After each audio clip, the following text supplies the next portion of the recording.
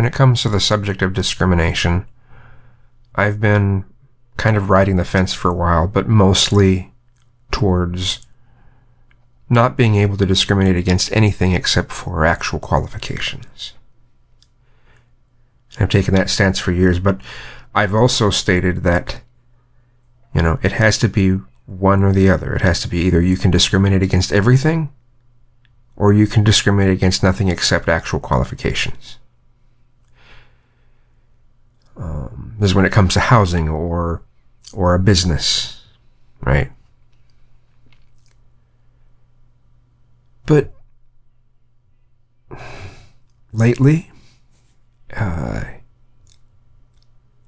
I'm I'm being shown that well, it's not just about not being able to discriminate against anything but qualifications. No, no, no. That's that's kind of going out the window, and it's being replaced with the whole equality of outcome mindset. So instead of it having a nice axis of, of thing, two things that I could support, it's now just one thing I could support and one thing that I can't.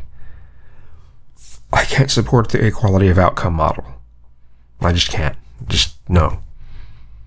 And if I'm forced to choose between allowing everyone to discriminate against anything they want, except for uh, hospitals, insurance companies, and and governmental positions, right? If you know, if I'm if I'm forced to choose between that and equality of outcome, I'll choose just discriminate against whatever the fuck you want. If you want the uh, if you want a bakery to bake you a cake, find one that'll bake you that kind of cake. Um,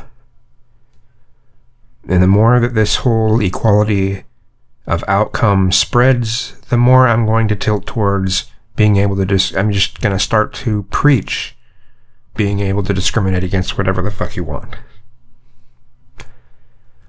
I hope that I don't continue down that path. I hope I don't have to continue down that path. Because my continuing down that path is a response. It's a reaction. It's a reflex. It's voluntary, though, in this case. So,